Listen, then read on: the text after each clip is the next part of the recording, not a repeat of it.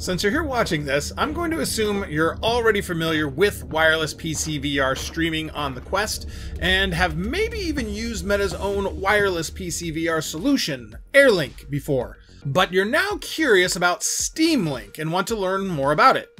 I'm also going to assume you know about the network requirements for doing wireless PC VR with a Quest. So I'm not going to go over that stuff in this video.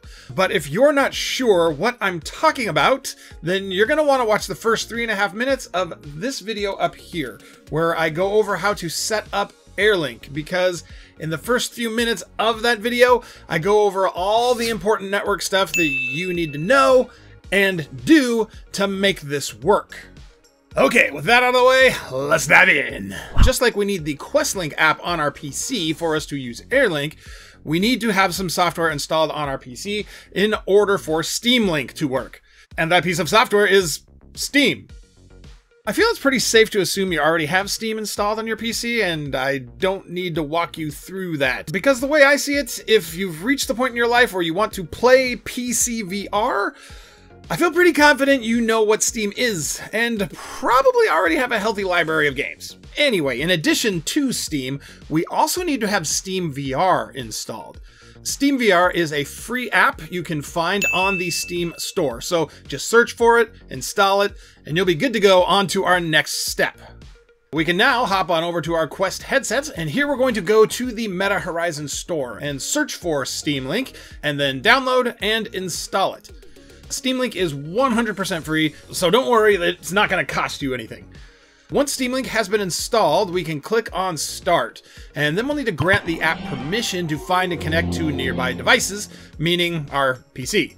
Click Allow, and Steam Link will then begin looking for computers on your network that are running Steam. As long as Steam is running on your PC, you can click Continue here, select your PC at this screen, and then click Connect.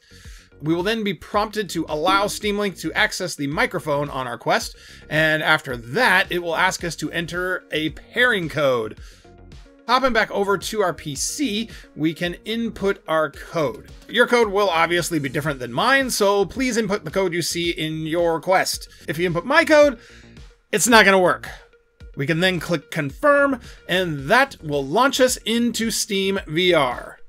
Once in the Steam VR home environment, if we press the settings button on our left controller, it will bring up the Steam VR menu. And if we go to the VR settings over here on the left, this is where we can adjust all of our important settings, including our refresh rate and render resolution. This is a little different than it is in the QuestLink app, if you're familiar with that.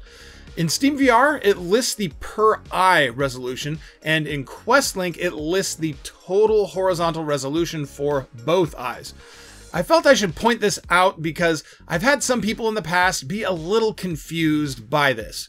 As for tools to help you dial in your game settings, refresh rate, and render resolution, Steam does have their overlay you can enable under the in-game tab in the Steam settings, but unlike the Oculus Debug Tool overlay, this does not show up in the headset. It's only visible in the preview window on your computer's monitor, which isn't super helpful when you're in VR. There is a really great tool for this, however, called FPS VR but unfortunately, it is not free. It only costs 4 US dollars though, so not super expensive or anything. And for that price, you get a very robust tool with a lot of options that can display everything you need and then some in your headset to see what your PC's VR performance is and to help you get your settings dialed in. The downside to this tool is it only works in Steam VR. But if you buy all your games on Steam, then that shouldn't be a problem for you. Speaking of problems, I've got one I need your help with. You see that like button down there? If you could just give that a click, that would be awesome. And if you could leave a quick comment, that would also be super helpful. Huh? What was that? Oh, you want to know what else you can do to help? Well, if you feel so inclined, there's this thing called Super Thanks you can use to throw a couple of dollars my way.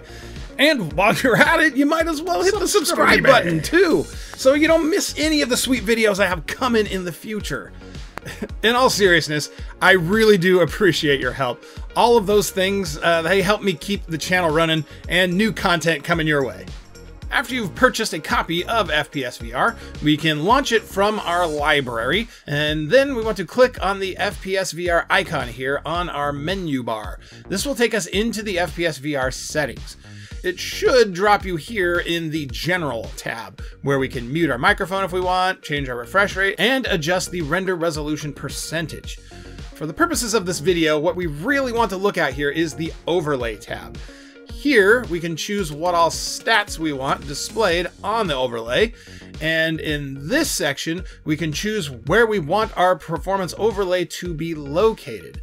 By default, I think it's docked to the bottom of your right controller. So if you lift up your controller and look at the bottom of it, you'll see the overlay here.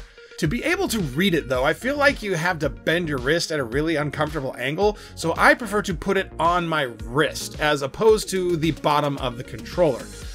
That being said, when I'm testing out what settings to use in a game, I most like to pin it to the HMD, so the overlay is in view all the time.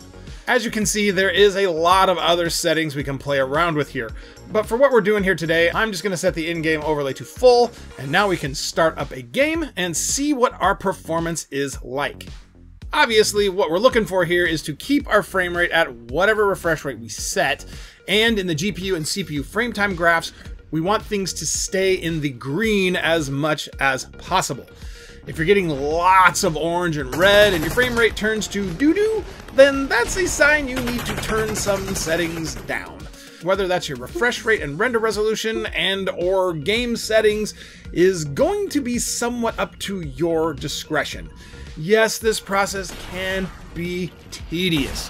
But ultimately, what we want is a smooth gameplay experience with the best visuals our system can give us. If you have a high-end PC, this should be pretty easy because you'll be able to set things pretty darn high and just go with it. But if you're on more modest hardware, then there's a lot more compromising you're going to have to do. Once you've gotten your settings dialed in, you can turn off the FPS VR overlay and enjoy yourself some awesome PC VR gaming. Probably the biggest downside to Steam Link is by default it only allows you to play Steam games. It does not have native support for any games you've purchased from Meta's store. That being said, apparently there is a way you can run Meta slash Oculus games in Steam Link, but from what I understand, you need to install some additional software in order to do that, which I haven't tried before, so I can't verify if you can actually do that or not. But something I have tried that allows you to run both Meta and Steam games right from its main menu is Virtual Desktop. And if you'd like to learn more about it, you're going to want to watch this video next. Come on, do it. You know you want to. Subscribe.